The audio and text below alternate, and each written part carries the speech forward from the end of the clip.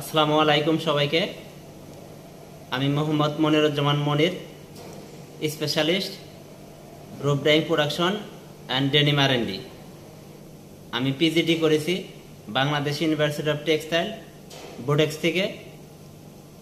আর BSc engineering complete করেছি university of South Asia থেকে। এবং diploma in textile engineering complete করেছি শহীদ আব্দুর রব, শেয়ানিবাদ টেক্সটাইল ইঞ্জিনিয়ারিং কলেজ থেকে। আমার বারো বছরের অভিজ্ঞতা ইন ডেনিম ইন্ডাস্ট্রিতে I have twelve years experience in denim industry in different different site আজ আমি কথা বলব টপিং নিয়ে। এই টপিংকে অনেকে ব্লু ব্লাক বলে থাকেন। টপিং হলো আইবিএসটি আইবিএসটি কি? ইন্ডিগো বটমিং সালফার টপিং তো অনেকেই এটাকে ব্লু ব্লাক বলে থাকে। এই আইবিএসটি হলো আইবিএসটিটা কি? ইন্ডিগোটা হলো ইনার সাইডে আর ব্ল্যাকটা হলো আউটার সাইডে। মানে আগে ইন্ডিগো, পরে ব্ল্যাক। তাহলে আগে ইন্ডিগো হলে কি হলো? ইনার সাইডে ইন্ডিগো হলো আর আউটার সাইডে ব্ল্যাক হলো। সো আমাদের সে আগের মতোই ডেনিম ইন্ডাস্ট্রির ফেব্রিক ম্যানুফ্যাকচারিংয়ের ফার্স্ট প্রসেস হলো ball warping after complete ball warping তারপর কি হলো? দেন ডাইং তো এই ডাইংয়ের মধ্যে সাধারণত আমরা বিভিন্ন কালার করে থাকি। এর আগেও বলেছি, এর আগেও বলেছি, যেমন indigo colour bottoming colour black colour ash grey colour আজ আমি কথা বলব টপিং নিয়ে। তো টপিংয়ের মধ্যে এই ডাইংয়ে প্রথম পার্ট হলো ক্রিল পার্ট আফটার কিল পার্টের পরে আমাদের হলো পি ট্রিটমেন্ট। পি ট্রিটমেন্ট আমরা কি করে থাকি সাধারণত? এখানে স্কোয়ারিংও করে থাকি, মার্সারাইজেশনও করে থাকি। তো স্কোয়ারিং কি করা হয়? স্কোয়ারিংয়ে সাধারণত আমরা কস্টিক সাইজের বা কস্টিকের জিপিএলটা লো কনসেন্ট্রেশনে করা হয়। এক্সাম্পল স্বরূপ দশ থেকে থার্টি জিপিএল আবার এটাই যদি, এই কস্টিকের জিপিএল যদি আমরা hundred to two hundred GPL করে থাকি সাধারণত সাধারণত এটি হলো হেভি মার্সারাইজেশন তো এই আফটার মার্সারাইজেশনের পরবর্তী পার্ট হলো প্রি ওয়াশ এই মার্সারাইজেশনে আমাদের রেসিপি কি? পূর্বে আমি আপনাদেরকে রেসিপি বলেছি। রেসিপিটা হলো মনে করলেন caustic twenty GPL wetting agent four GPL sequestering agent one GPL তো এই প্রত্যেকটা কেমিক্যালের কাজ আছে, আমি কাজের কথাও কোন কেমিক্যালের কী কাজ, এটা আমি পূর্বে আলোচনা করেছি। তো সেই ভিডিও দেখে নেবেন। তো আপনার মার্সারাইজেশন আর আপনার স্কোয়ারিং মানে আপনার প্রি ট্রিটমেন্ট আমরা কি করে থাকি? প্রি ওয়াশ করে থাকি। এই প্রি ওয়াশে কেন করি? প্রি ওয়াশে আমি আমি পূর্বেও বলেছি সাধারণত, ইয়ানের গায়ে বা সারফেসে ইয়ানের গায়ে বা সারফেসে সাধারণত কস্টিসাইজ লেগে থাকে, যার ফলে সেটা রিমুভ করার জন্য আমরা প্রি ওয়াশ করে থাকি। এই প্রি ওয়াশের পরবর্তী প্রসেস হলো, পরবর্তী পার্ট হলো ডাইং ডাইং কি? ডাইংয়ের বক্স প্রিপারেশনের জন্য প্রথমে আমাদের ডাইংয়ের জন্য আমাদের কি করতে হবে? প্রথমে আমাদেরকে বক্স প্রিপারেশন করতে হবে। তারপরে কালার প্রিপারেশন করতে হবে। তারপরে কি আমাদের ডজিং দিতে হবে। তো মনে করলেন, ইন্ডিগোর বক্সের GPL one point five GPL এই ফাইভ জিপিএল এবং hydro GPL point five two eight GPL এবং ওয়েটিং এজেন্ট ওয়ান জিপিএল। এই ইন্ডিগো বক্স প্রিপারেশনের জন্য নতুন বক্স কীভাবে প্রিপারেশন করতে হয় এবং পুরাতন বক্স কীভাবে অ্যাডজাস্টমেন্ট করতে হয় সে বিষয় নিয়ে আমি পূর্বের ভিডিওতে কথা বলেছি। তো এই ইন্ডিগো রেসিপি প্রিপারেশনের জন্য সাধারণত আমাদের প্রথমে বক্স প্রিপারেশন করতে হবে। তারপরে কালার প্রিপারেশন তারপরে ডজিং ইন্ডিগো বক্স প্রিপারেশনের পরবর্তীতে আমরা কি করব? মনে করলেন ইন্ডিগোর বক্স প্রিপারেশন কীভাবে করব?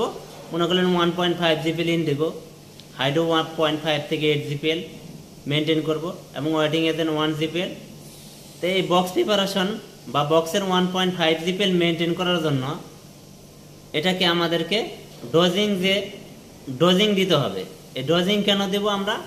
এই যে ইন্ডিগো বাতের ওয়ান পয়েন্ট ফাইভ জিপিএল কনসেন্ট্রেশনটা লেভেল মেনটেন করার জন্য আমরা ডোজিং দেব। বক্সের pH eleven point eight to twelve maintain করব। এর জন্য আমাকে কি করতে হবে? আলাদা কস্টিক ডোজিং ফিট দিতে হবে। এই বক্সের পিএইচ মেনটেন করার জন্য যত জিপিএল আমাদের কস্টিক মেনটেন করতে হয় ফিটে তত জিপিএল কস্টিক অ্যাপ্লাই করতে হবে। তো এখন বিষয় হলো আমরা এর সাধারণত কস্টিকের সাথে সাধারণত কস্টিক প্রিপারেশনের সময় আমরা ডিসপার্সিং এজেন্ট টু জিপিএল দিয়ে থাকি। এছাড়াও আমরা ওয়াইটিং এজেন্ট আমরা ইয়ানের ওয়েটেবিলিটির জন্য বৃদ্ধি করার জন্য বা ওয়েটেবিলিটি বাড়ানো, কমানোর জন্য সাধারণত আমরা আলাদাভাবে কস্টিকের সাথে ওয়েটিং এজেন্ট অ্যাপ্লাই করে থাকি। মনে করলেন যে, আপনার মনে করলেন যে, এখন ইয়ানের ওয়েটেবিলিটি বৃদ্ধি করতে হবে, তো আমরা হাই জিপিএল ইয়ান ওয়েটিং এজেন্টের জিপিএল বাড়িয়ে দেবো এবং কমাতে হবে, তাহলে কমিয়ে দেবো। তো এটা আপনারা সাথে টেকনিক্যাল বিষয়। আপনারা কাজ করতে করতে এটা বুঝতে পারবেন।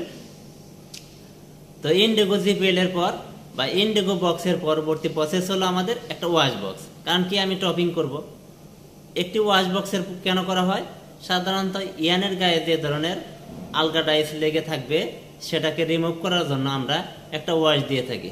তার পরবর্তী হলো আমাদের এই টপিং টপিং বক্স টপিং সাধারণত আমরা একটি বক্স অ্যাপ্লাই করে থাকি। সেটা সাধারণত আমরা টপিং কি করে থাকি? টপিং আমরা সাধারণত পয়েন্ট ওয়ান জিবিএল থেকে টোয়েন্টি জিবিএল পর্যন্ত করে থাকি। এটা অ্যাজ পার বায়ার সোয়াস অনুযায়ী, যদি মনে করেন না, এটা লোয়ার জিপিএলে করতে হবে টপিং হাই জিপিএলে করতে হবে। এটা অ্যাজ পার বা অ্যাজ পার বায়ার রিকোয়ারমেন্ট অনুযায়ী। তো এখন আস বিষয়টা হলো টপিং এর জিপিএল মেনটেন করার জন্য আমরা কি করব?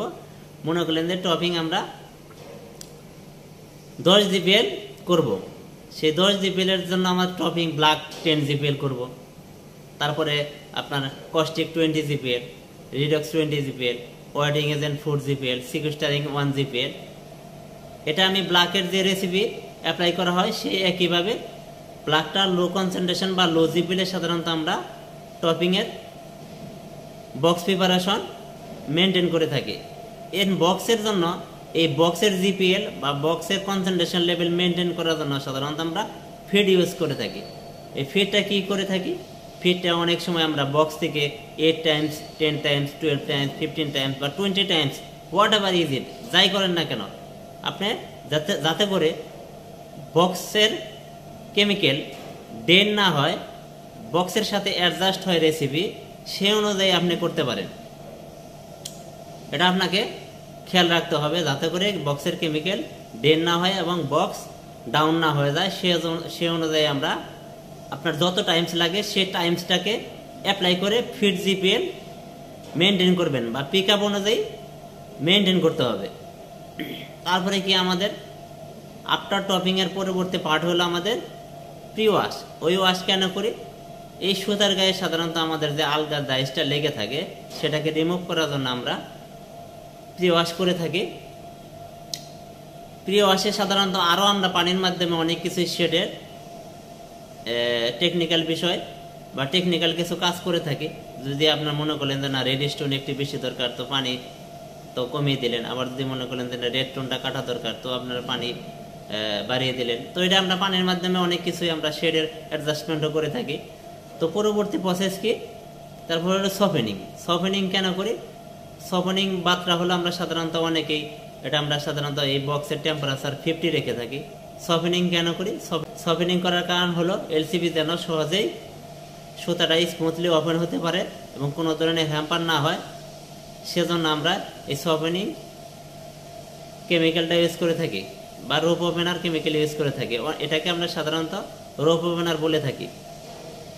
এটা সহজেই রোপটাকে ওপেন করে দিতে পারে এন এলসিবি সেকশনে তো আমি সাধারণত অনেক কেমিক্যালের নাম বলি নাই, কারণ কেমিক্যালের কেমিক্যালের যদি নাম বলি, তাহলে সেই কোম্পানির ব্র্যান্ড ভ্যালু হয়ে গেল।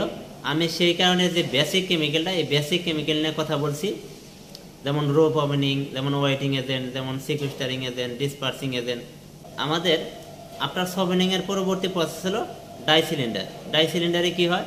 ডাই সিলিন্ডারে হলো সুতাটাকে শুকানো হয়। এই সুতাটাকে শুকানো হয়, পরবর্তী ড্রাই সিলিন্ডারের পরবর্তী পার্ট হলো কয়লার পার্ট এই কয়লারে সাধারণত কি করা হয়? ক্যানের মধ্যে সুতাটাকে সুন্দরভাবে প্লেস প্লেস করা হয়। তার পরবর্তী সেকশন হলো এলসিবি সেকশন এলসিবি সেকশনে সাধারণত ক্যানটাকে ডেলিভারি দেওয়া হয়। সো টপিংয়ের বিষয় হয়তো অনেকে বুঝতে পারছেন। তো আমাদেরকে এই শেড মেনটেন করার জন্য আমাদের কিছু অবশ্যই মেনটেন করে থাকতে হবে। যেমন আমাদের বেসিক কিছু কনসেপ্ট এটা জানতেই হবে। যেমন আমরা যদি স্কোয়ারিং করি সাধারণত আমরা স্কোয়ারিং যদি করি, সেই স্কোয়ারিংয়ে আমরা সাধারণত টেম্পারেচার দিয়ে থাকি। আর যদি মার্সারাইজেশন করি মার্সারাইজেশনের টেম্পারেচার ইউজ করি না। ইন্ডিগো বক্সে সাধারণত আমরা টেম্পারেচার ইউজ করি না নর্মাল টেম্পারেচার থাকে। আবার টপিং করার জন্য আমরা সাধারণত eighty five to ninety degree centigrade temperature দিয়ে থাকি। ব্ল্যাকের শেড কনসিস্টেন্সি মেনটেন করার জন্য সাধারণত আমাদেরকে কিছু জিনিস অবশ্যই ফলো করতে হবে। সেটি কি মেনটেন করতে হবে? সেটি কি পিএসটাকে মেনটেন করতে হবে? বক্সের কনসেন্ট্রেশন লেভেলটাকে মেনটেন করতে হবে। টেম্পারেচারটাকে মেনটেন করতে হবে। ওয়ারপিটাকে মেনটেন করতে হবে। সো, এগুলো খুব বেসিক বিষয়। তো এগুলো অবশ্যই জানতে হবে। তো আজকে এ পর্যন্ত ধন্যবাদ সবাইকে।